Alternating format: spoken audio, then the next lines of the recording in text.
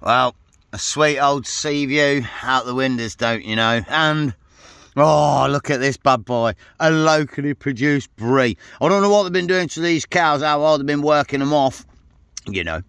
But look how creamy that is. and tastes well good, mate. Pure Stiltony creamy brie. Oh, good old cows. Working hard.